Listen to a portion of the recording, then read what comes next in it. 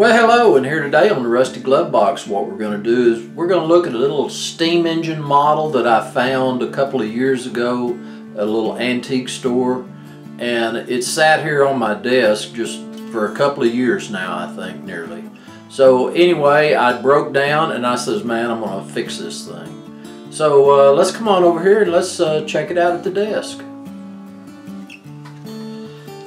This is the little steam engine and uh, you know, it's a little toy steam engine with a pressed metal base, uh, some kind of casted flywheel, not sure out of what, but uh, I had to kind of I'll get everything nice and solid again. It's had a little bit of extra movement to it. Uh, everything was pretty complete, but it was missing the piston and rod combination. And uh, so I had seen it at this little antique store for a couple of years and he had marked $26 for this as it sat and I thought well it's you know it's interesting but it's not worth $26 and so after probably almost a year or two years of us stopping by this shop off and on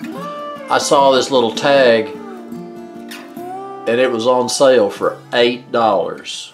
So anyway for eight dollars I'd take a chance on it. So anyway I started measuring the inside of this bore here and it was exactly 250 thousandths.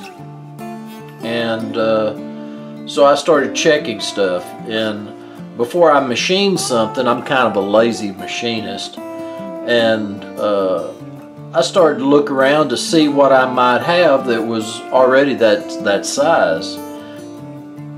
And so after looking and measuring, uh, I found something that was the same size. And what it was, it was an old spade bit. And so what I did, I cut a section out of there and it was pretty snug. That spade bit was real slick on the shank of it. And so what I did is I had some 600 grit sandpaper and the little section that I cut out of that spade bit, uh, I took sandpaper and just kept sanding on it till it was a nice smooth fit. And anyway, I think we'll take it outside and we'll see how it does.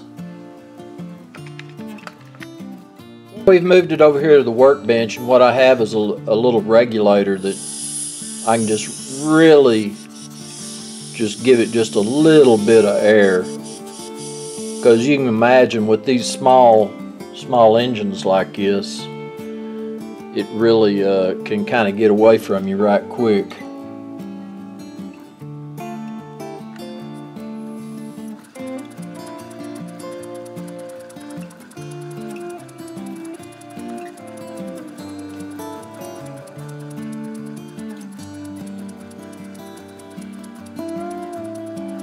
I do not know what brand this is. I, have looked a little bit, but I can't find any pictures uh, that look like it. It looks like there used to be a platform or something else that went with this, so uh, I just I just don't know. I can't tell that much about it. But I think it, it operates pretty smooth.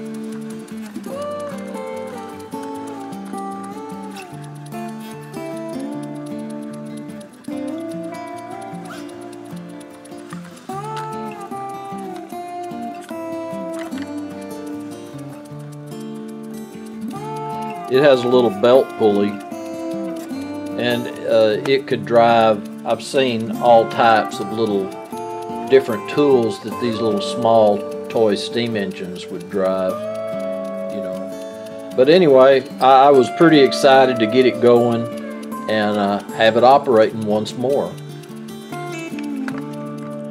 So as always, I appreciate y'all coming by the shop today. This is Rusty Glove Box and I'm out of here.